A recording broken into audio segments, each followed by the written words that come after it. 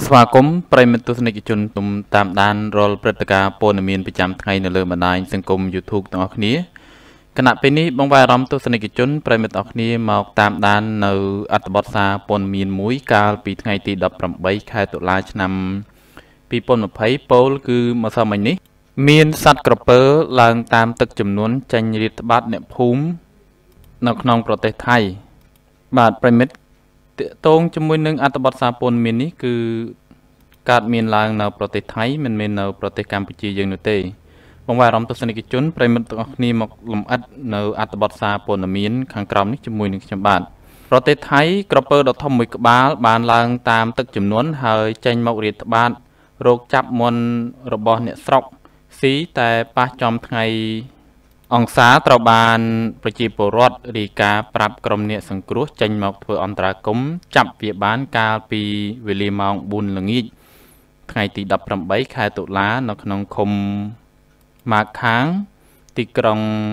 តាផ្យាខេត្តឧត្តមធានីអ្នកជួយសង្គ្រោះបានឲ្យដឹងថាកាលពីរសៀលថ្ងៃកើតហេតុពួកគេបានទទួលបានការហៅទូរស័ព្ទមកប្រាប់ អំពីករណីក្រពើឡើងរោគស៊ីម៉ុនរបស់ប្រជាពលរដ្ឋភ្លាមភ្លាមនោះ ពួកគាត់បានធ្វើដំណើរទៅកាន់ទីនោះហើយព្យាយាមជាច្រើនម៉ោងទម្រាំចាប់វាបាន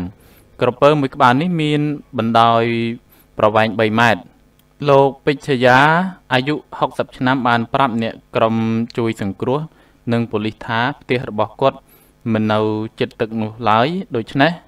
ក្រពើនេះអាចរួចចេញពីកសិដ្ឋានណាមួយហើយប៉ូលីសក៏កំពុងតែស្វែងរកម្ចាស់របស់ក្រពើនេះផងដែរនេះគឺជាអត្ថបទសារព័ត៌មានមួយនៅឯប្រទេសថៃឯនោះវិញប្រទេសថៃកំពុងតែមានគ្រោះទឹកចំនួនដូចប្រទេសកម្ពុជាយើងដែរខណៈពេលនោះក៏មានក្រពើ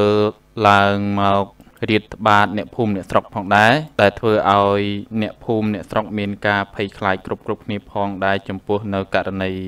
ក្រពើដ៏ធំមួយក្បាលនេះ ហើយបងប្អូនប្រជាពលរដ្ឋខ្មែរយើងសូមមេត្តាមានការប្រុងប្រយ័ត្នចំពោះករណីខាងលើនេះដែរអ្វីត្បិតតែករណីនេះកើតឡើងនៅប្រទេសថៃក៏ដោយហើយជាពិសេស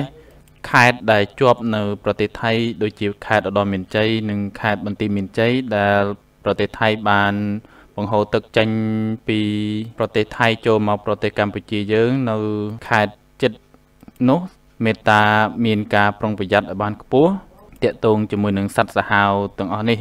មិនដឹងថាវាមកតាមទឹកនោះទេ យើងមិនអាចស្មានដល់នៅហេតុការណ៍នេះដូច្នេះសូមបងប្អូនប្រិមិត្តមេត្តាមានការប្រុងប្រយ័ត្នខ្ពស់ចំពោះសត្វសាហាវទាំងអស់នេះតកតងជាមួយនឹងអត្ថបទសារព័ត៌មានខាងលើនេះជានៅទីបញ្ចប់ហើយអរគុណយ៉ាងជ្រាលជ្រៅចំពោះការតាមដានរបស់ប្រិមិត្ត តែចំណាយពេលវេលាដ៏មានតម្លៃតាមដាននៅអត្ថបទសារព័ត៌មានមួយនេះគណៈពេលនេះខ្ញុំបាទសូមជម្រាបលានឹងវិលជួបប្រិមិត្តអស់គ្នានៅអត្ថបទសារព័ត៌មានក្រោយៗជាបន្តទៀត